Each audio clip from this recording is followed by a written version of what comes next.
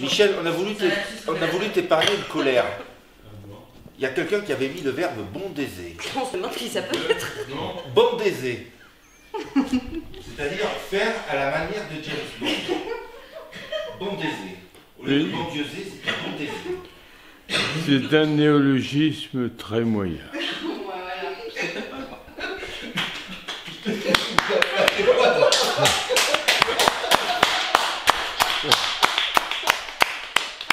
On a bien fait alors.